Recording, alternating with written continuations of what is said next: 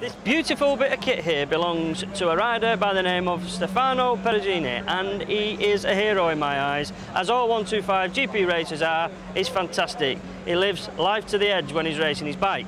And this is an Italjet GP machine for 2001 but it's not this I wish to show you. If you'd like to just follow me, cameraman, because over here, this is what you may know Italjet for, and that is their fantastic Formula 125 scooters. It's a cracking bit of kit. In this case, very fancy paint jobs.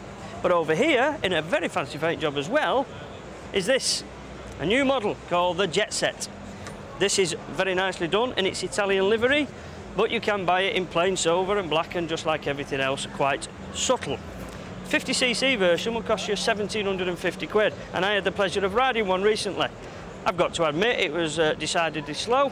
In fact, I'm sure I was overtaken by a young man on a skateboard and in fact something flew by me and I believe it was a milk float. But then again, it was a legally restricted 30 mile an hour scooter but they do a 125 version, a four-stroke 125, which will obviously be very great fun, economical to use, and that will cost you a few hundred pound more. Maybe I can arrange a test ride on the 125 one day.